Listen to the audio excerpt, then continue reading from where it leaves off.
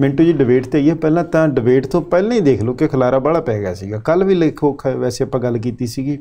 ਉਸ ਤੋਂ ਬਾਅਦ ਮੈਨੂੰ ਲੱਗਦਾ ਬਾਈ ਕਿ ਕੋਈ ਛੱਡੇ ਹੀ ਨਹੀਂਗਾ ਜਿੱਥੇ ਮੈਨੂੰ ਲੱਗਦਾ ਵੀ ਚਾਰੇ ਪਾਸੇ ਤੋਂ ਮੈਨੂੰ ਲੱਗਦਾ ਮਾਝਾ ਮਾਲਵਾ ਦੁਆਬਾ ਫਲਾਣੀ ਥਾਂ ਦੇ ਉੱਤੇ ਵੀ ਪੁਲਿਸ ਖੜੀ ਹੈ ਫਲਾਣੀ ਥਾਂ ਦੇ ਉੱਤੇ ਵੀ ਪੁਲਿਸ ਖੜੀ ਹੈ।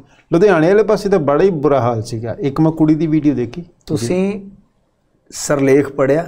ਮਾਫ ਕਰਨਾ ਮੈਂ ਗੱਲ ਟੋਕ ਦਿੱਤੀ ਇੱਥੋਂ ਹੀ ਸ਼ੁਰੂ ਕਰਿਓ। ਜੀ। ਉੱਥੇ ਕੀ ਲਿਖਿਆ ਉਹਨਾਂ ਨੇ? ਮੈਂ ਪੰਜਾਬ ਬੋਲਦਾ। ਜੀ। ਉਹ ਕਹਿ ਰਿਹਾ ਕਿ ਮੈਂ ਪੰਜਾਬ ਬੋਲਦਾ। ਮੈਂ ਪੰਜਾਬ ਸਾਰਾ ਸੁਣੋ ਬੋਲਦਾ।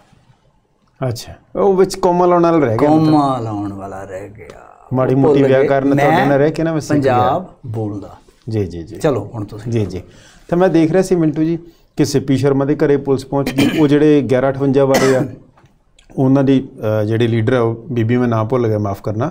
ਉਹ ਵਿਚਾਰੇ ਹਸਪੀਟਲ ਸੀ ਪੀਜੀਆਈ ਐਡਮਿਟ ਉਸ ਤੋਂ ਬਾਅਦ ਉਹਨਾਂ ਦੇ ਘਰ ਅੱਗੇ ਵੀ ਪੁਲਿਸ ਵਾਲੇ ਖੜੇ ਹਾਲਾਂਕਿ ਉਹ ਤਾਂ ਬਿਮਾਰ ਪਏ ਸੀ ਕਹਿੰਦੇ ਛੁੱਟੀ ਲੈ ਕੇ ਘਰੇ ਆਏ ਨੇਗੇ।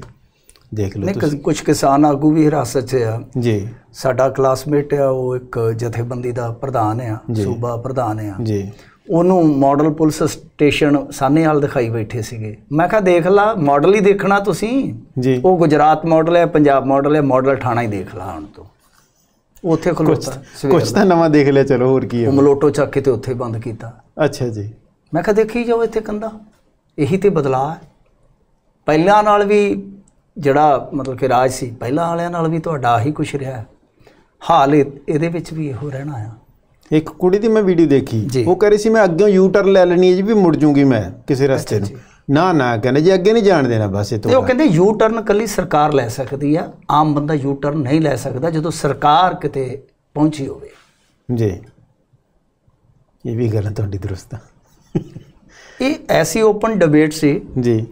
ਜਿਹਦੇ ਵਿੱਚ 800 ਹਜ਼ਾਰ ਤਾੜੀ ਮਾਰ ਬੈਠਾ ਸੀ ਜੀ। ਤੇ 4000 ਪੁਲਿਸ ਵਾਲਾ ਲੱਗਾ ਸੀ ਘੱਟੋ ਘੱਟ।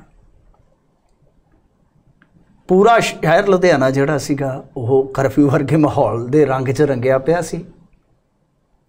ਬੋਲਣ ਵਾਲੇ ਨਜ਼ਰਬੰਦ ਸੀ। ਅਧਿਆਪਕ ਟੀਚਰ ਯੂਨੀਅਨ ਹੈ ਜੀ ਕੰਪਿਊਟਰ। ਆ ਜੀ ਹੈਗੇ ਉਹ ਪੀਟੀਆਈ ਪੀਟੀ ਹੁੰਦੇ ਕਿਹੜੇ ਹੁੰਦੇ? ਜੀ। ਉਹ ਉਹ ਆ ਵਿਚਾਰੇ। ਉਹ ਸਭ ਤਖਤੀਆਂ ਫੜ ਕੇ ਬੈਠੇ ਨੇ ਉੱਥੇ। ਚਾਰ ਦਿਨ ਪਹਿਲਾਂ ਮਾਨ ਸਾਹਿਬ ਸੱਦਾ ਦੇ ਕੇ ਹਟੇ ਸੀ ਪੰਜਾਬੀਆਂ ਨੂੰ ਤੇ ਅੱਜ ਖਬਰ ਲੱਗੀ ਪਈ ਸੀ ਇੱਕ ਛੋਟੀ ਜਿਹੀ ਕਤਰ ਤੁਹਾਨੂੰ ਪਤਾ ਪੰਜਾਬ ਦੇ ਇੱਕ ਵੱਡੇ ਅਖਬਾਰ ਦੇ ਵਿੱਚ।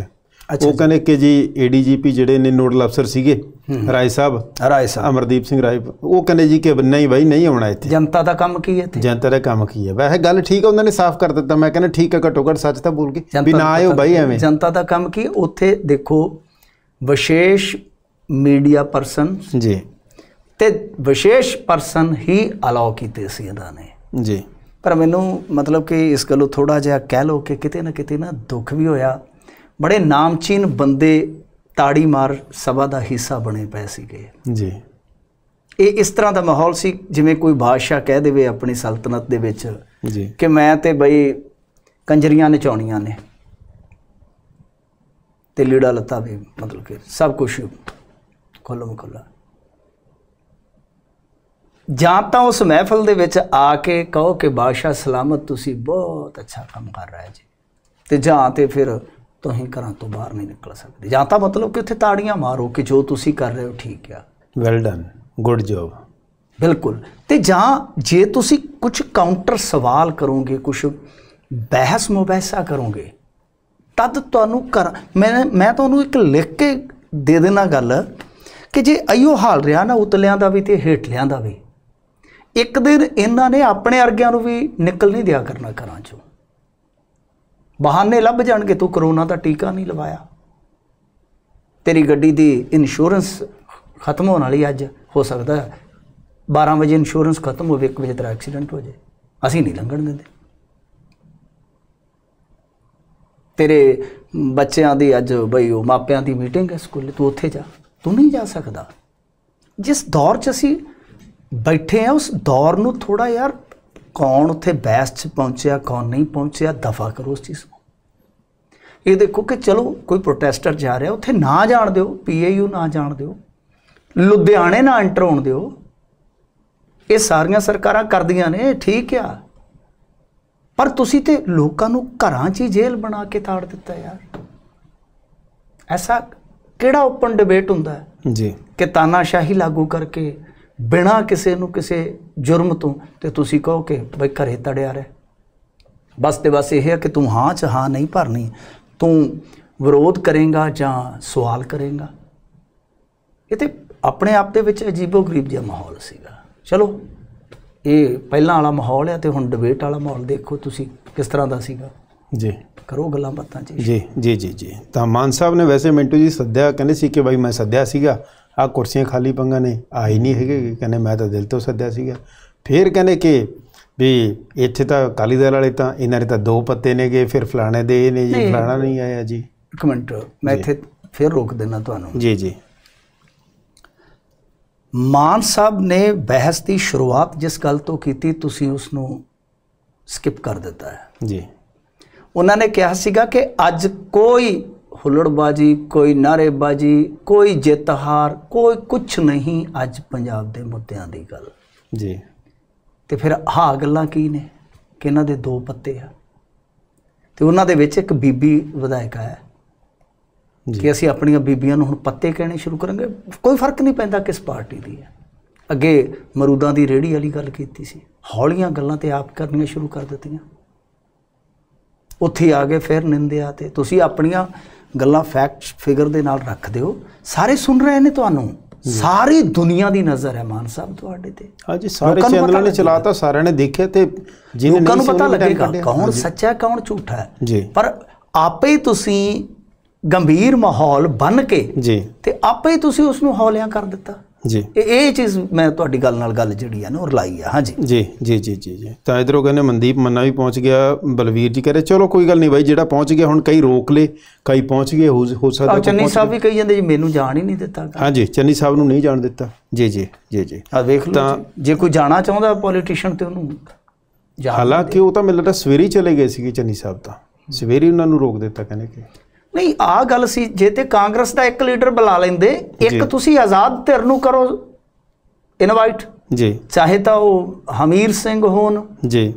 ਚਾਹੇ ਕੋਈ ਹੋਰ ਪੱਤਰਕਾਰ ਕਰ ਲਓ ਚਾਹੇ ਆਜ਼ਾਦ ਪੋਲੀਟੀਸ਼ੀਅਨ ਲਖਾ ਸਿਧਾਣਾ ਵਰਗਾ ਕਿ ਆ ਜਾਓ ਕੀ ਉੱਥੇ ਕੋਈ ਮੂੰਹ ਚ ਪਾ ਜਾਏਗਾ? ਜੀ। ਕਿ ਜੇ ਇਹ ਨਾ ਆਉਂਦੇ ਤਾਂ ਘੱਟੋ ਘੱਟ ਉੱਥੇ ਤੁਹਾਡੇ ਦੋਨਾਂ ਦੇ ਤਾਂ ਆਰਗੂਮੈਂਟ ਹੋ ਜਾਂਦੇ।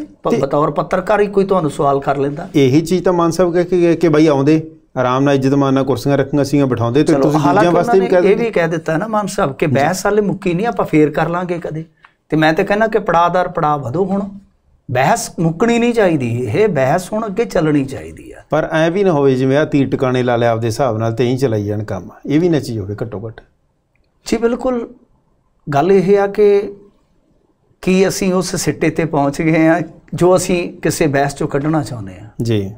ਕਿਸੇ ਵੀ ਦਰਸ਼ਕ ਨੂੰ ਤੁਸੀਂ ਇਸ ਸਵਾਲ ਦੇ ਵਿੱਚ ਸ਼ਾਮਲ ਕਰ ਸਕਦੇ ਹੋ ਕਿ ਕੀ ਅੱਜ ਦੀ ਬਹਿਸ ਸਾਨੂੰ ਉਸ ਸਿੱਟੇ ਤੇ ਲੈ ਗਈ ਆ ਕਿ ਜਿੱਥੋਂ ਸਾਨੂੰ ਅੱਛੇ ਰਿਜ਼ਲਟ ਮਿਲਣ ਦੀ ਸੰਭਾਵਨਾ ਦਿਸਦੀ ਹੈ? ਇੱਕ ਵੱਡਾ ਸਵਾਲ ਆ ਕਿ ਕੀ ਅਸੀਂ ਉਸ ਥਾਂ ਤੇ ਪਹੁੰਚ ਗਏ ਹਾਂ? ਦੇਖੋ, ਦੋ ਤਿੰਨ ਚੀਜ਼ਾਂ ਪੋਜ਼ਿਟਿਵ ਨੇ। ਪਿਰਤ ਪਈ ਹੈ ਸੰਵਾਦ ਦੀ, ਅਗਾਹ ਵੀ ਚੱਲੇ, ਠੀਕ ਆ। ਕਿਸੇ ਨੇ ਆਉਣਾ, ਕਿਸੇ ਨੇ ਨਹੀਂ ਆਉਣਾ, ਇਹ ਉਹਨਾਂ ਦੀ ਮਰਜ਼ੀ ਆ। ਪੁਰਾਣੇ ਦਸਤਾਵੇਜ਼ ਅੱਜ ਉਹਨਾਂ ਨੇ ਖੋਲ ਦਿੱਤੇ ਆ ਜਨਤਾ 'ਚ ਰੱਖ ਦਿੱਤੇ ਆ। ਇਹ ਅਨਦਰ ਮੈਂ ਕਹੂੰਗਾ ਕਿ ਅੱਛਾ ਕਦਮ ਆ। ਹਾਂਜੀ ਆਪਾਂ ਉਧਰ ਨੂੰ ਚੱਲੀਏ ਮਿੰਟੂ ਜੀ ਮੈਂ ਇੱਕ ਦੋ ਕਮੈਂਟ ਲੈ ਲਾਂ ਮਾਫ ਕਰਨਾ ਤੁਹਾਨੂੰ ਟੋਕ ਰਿਹਾ। ਜੀ ਇਧਰੋਂ ਹੈ ਤਸਵੀਰ ਸਿੰਘ ਨਿੱਜਰ ਜੀ ਨੇ ਇਹ ਕਹਿੰਦੇ ਕਿ ਜੀ ਮੈਂ ਮਿੰਟੂ ਜੀ ਸਵੇਰੇ ਜੌਬ ਤੇ ਜਾਣਾ ਸੀ ਲੰਘਣ ਨਹੀਂ ਦਿੱਤਾ। ਗਵਰਨਮੈਂਟ ਦਾ ਆਈ ਕਾਰਡ ਵੀ ਦਿਖਾਇਆ।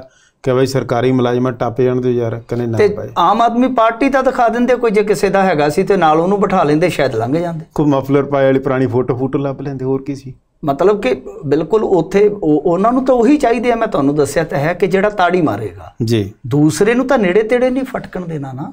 ਜੀ ਜੀ ਜੀ ਜੀ। ਇਹ ਓਪਨ ਡਿਬੇਟ ਹੈ। ਹਾਂਜੀ। ਅੱਧੇ ਪੰਜਾਬ ਨੂੰ ਬੰਦ ਕਰਕੇ ਕਹਿੰਦੇ ਜੀ ਓਪਨ ਡਿਬੇਟ ਹੈ। ਡਿਬੇਟ ਖੁੱਲਾ ਤੇ ਬੋਲਣ ਵਾਲਾ ਬੰਦ ਹੈ। ਬੋਲਤੀ ਬੰਦ ਹੈ। ਤੁਸੀਂ ਬੋਲ ਨਹੀਂ ਸਕਦੇ।